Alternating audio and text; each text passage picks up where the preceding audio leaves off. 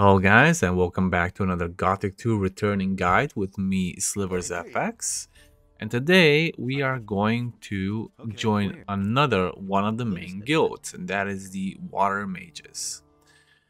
And the first thing we're gonna do is we're gonna talk to Lares and he's gonna bring us to the excavation. You might have already done this but in case you haven't, well uh, he will take you all the way to the excavation. You can leave everything to him if you so wish. But once you're inside, you actually have to kill a few rats, a uh, sentinel, or a guard, an ancient guard. Or you can just bypass the guard if you want. And there will be more rats and some goblin skeletons. I am so advanced here at this point that uh, I can pretty, pretty much kill everything on my own. So that's what I'm doing. Even though sometimes I'm not getting a critical hit, but still. I have 60% weapon mastery on two-handed weapons. So uh, the spear that I have is dealing quite enough for the time being.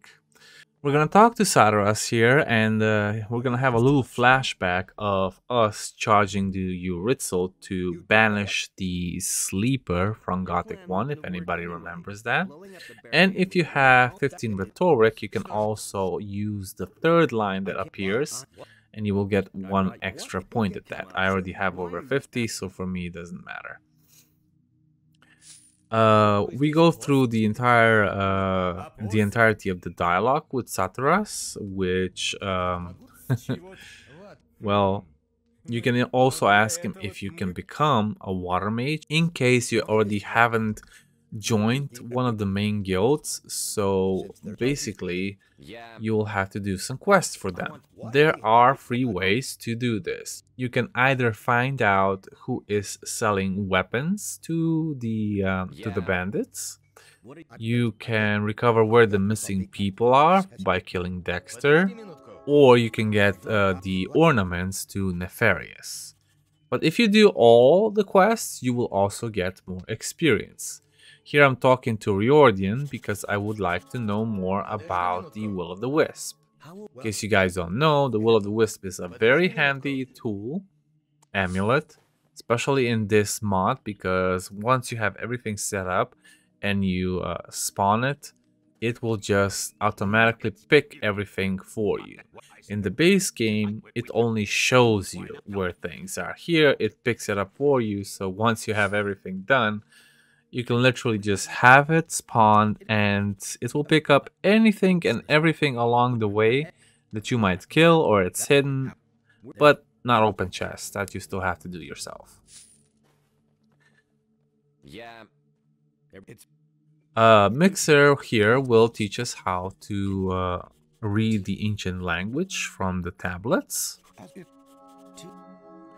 And of course, Nefarius will tell us and give us a map of the ornaments that have been lost through time. And that's what we're also gonna do in this little video.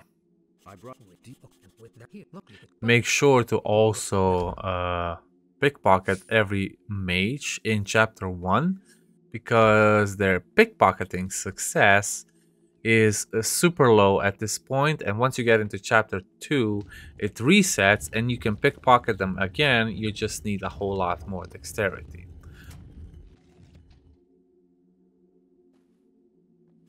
I am doing the teleports quest over here just because I wanted to get it out of the way. There's also two skeletons in the graveyard that I haven't cleared although I already did the uh, demon hunter guild but if you don't necessarily join them, you've never been here before. So this is a safe from before that. So these uh, skeletons and all the zombies are still there in case you watched my previous video. I will also upload a video on how to properly fight, uh, especially with two-handed weapons because they're slower. Because I have seen some people on my Discord channel have a little problem how to counter these, uh, especially skeletons or humans that can block attacks. You can uh, you can do this by timing it right, but either way, we'll make a separate video for that.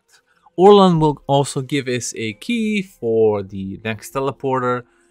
Uh, well, the door to the teleporter that's inside of this mountain range or cliff. And we're gonna finish this quest by talking to Me Merdarion. I think that's his name. I keep uh, mispronouncing his name, but uh, I guess it's because it's a little weird. And you get 250 extra experience once you finish it. Once we're done with that, we're gonna go to Onar's farm and we're gonna start collecting the ornaments. And the first one is near the crossroad where you found Greg earlier. He's not there anymore. But either way, we're gonna spawn one of the uh, ancient guards or sentinels. And he will have one of the ornaments on his possession. Next stop is going to be killing the bandits that uh, have the letter of who is selling the weapons to them directly, which will be Fernando. And that is part of the quest that can also get you into the Water Mages Guild. In case you want to do more than that, well, you know, you can do more than that. As I said in the beginning of the video, you can do a total of 3 quests for more experience. I also had to kill some of the animals and the uh, wildlife here, unfortunately. Goblins were always so scary in the beginning when I encountered them. The, the skeletons anyway. Now they're just, you know, a little, a little pain in the knee, not in the ass. Once you get all those field raiders out of the way, you can save the game before you encounter the bandits that are a little harder to kill, but not so by much, at least not on the easy.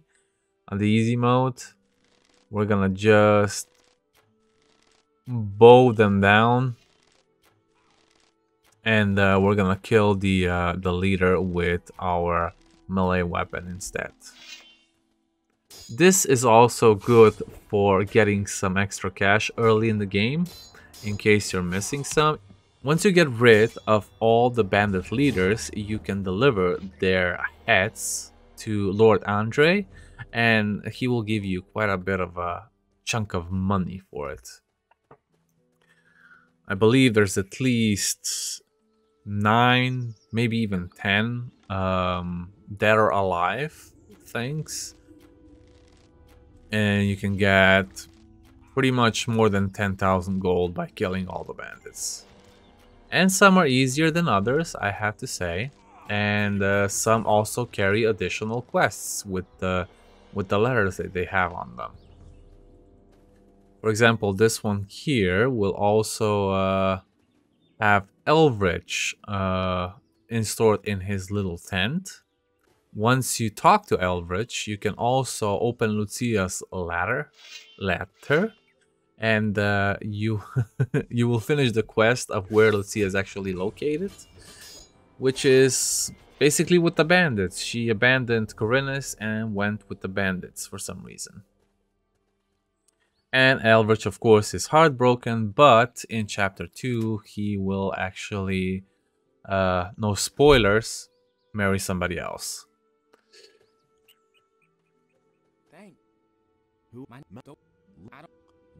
This uh, little bandit camp also has a uh, eli elixir of strength, I believe. There's some. Uh, there's also some hides on the floor. There will be plenty of stuff in the chest, and it's a good chunk of money altogether.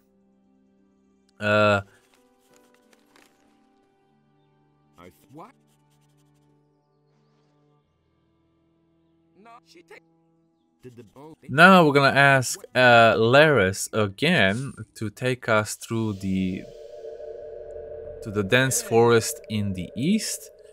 And once you uh, basically plow through everything, all the wolves, all the meat, meat bugs and everything, you will spawn another one of these ancient sentinels. You can deal with it yourself if you want, or you can just lead it to Lares. Either ways, you'll get the same amount of experience, depending on the option you put before starting the game.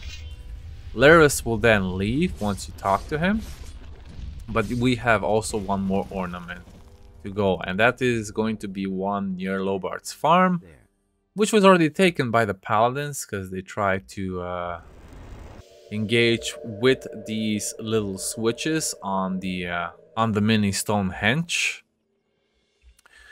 So once you talk to Cavalorn, you also tell him that there nothing happened, no sentinel spawned, and you have to go to Lothar, which will have the last ornament that you need to deliver to Nefarius.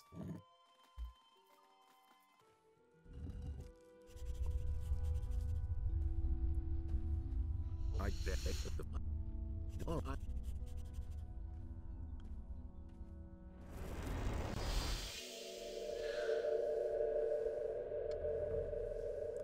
After you're done talking to Lothar, you can then go to Vatras and you can tell him about the missing people. And in case you haven't opened Dexter's letter about Raven's orders, then you can get some extra experience. This is a little mini tip. If you have talked to a lot of people that have been missing somebody from the group or the bunch, then you will get extra experience for each and every one you talk to. For example, I got 350 here. I could probably get even more if I talk to every single one of them. I just don't know what the maximum amount is.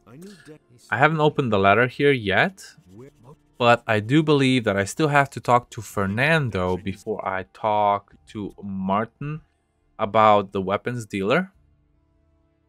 About how much? Ask. I've got those. I've got an.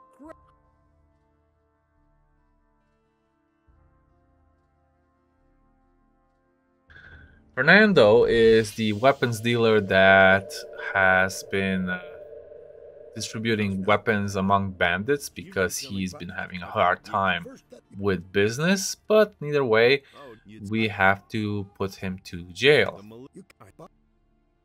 So we're gonna go see Martin now.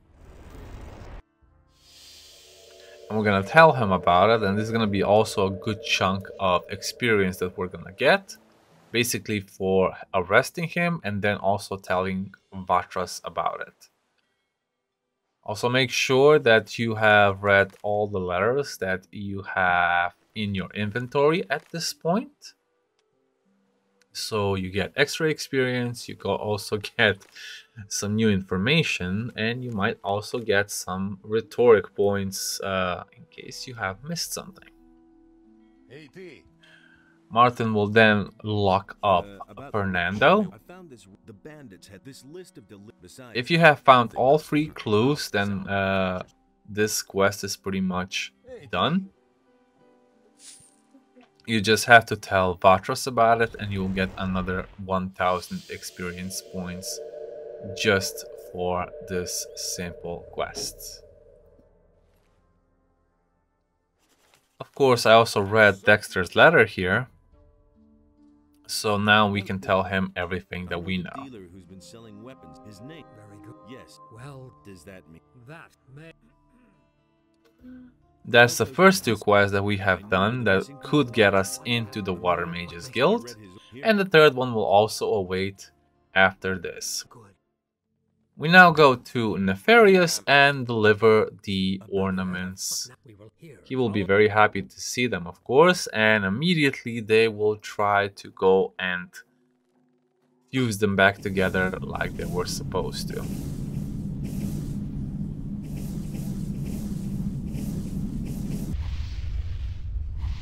The ornament has since he coated hope. You can now freely talk to Saturas about joining the Water Mages as we have done.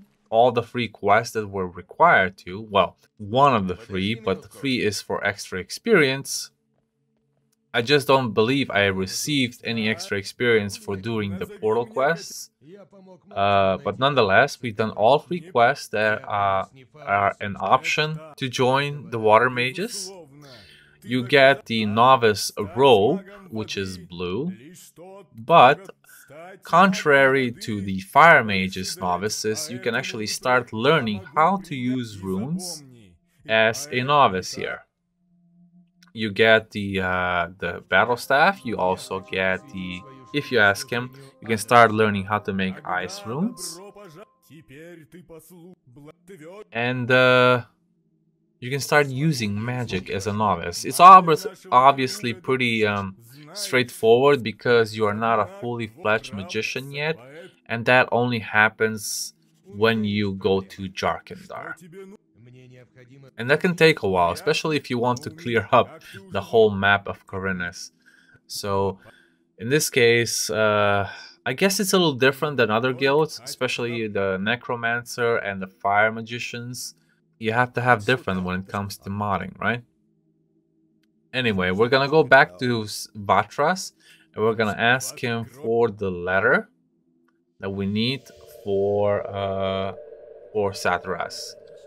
But I sort of forgot that we actually need to talk to Lord Hagen before doing that.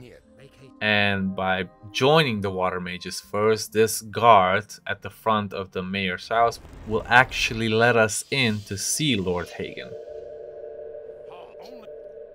Lord Hagen will then hear your story. Uh, you can talk to him about the Eye of Innos and ask him why the paladins are in town in the first place.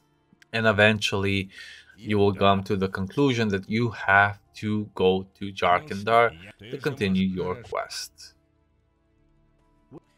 I will backtrack uh, with the other main guilds here. I will not go to Act 2 as a guide, but for say for the sake of this video, I have to go so you guys can actually see that becoming a fully fledged water mage is by going to Jharkendar talking to Saturas about Raven and everything else. You will receive the rope, a new staff, and so on and so forth.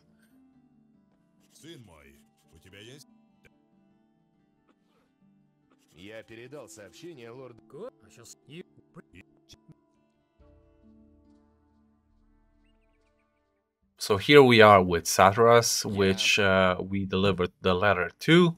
He will then give us the ornament to unlock the portal. We go through the portal to Jharkendar, obviously, and uh, the story of the second chapter basically begins there.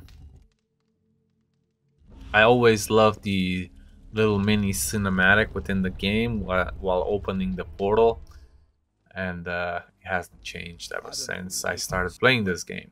Here we give a quick skip through of the entire dialogue that we have with him and then we can finally ask him to become a fully fledged water mage as mentioned a few times before in this video. As we open our inventory, we can see that we got our rope and we also got a new magical staff. It is not that special, but it will do for now. You can also find good stuff later on. Either way, guys, thanks you so much for watching. Uh, like and subscribe if you like the video, and I will see you in the next one.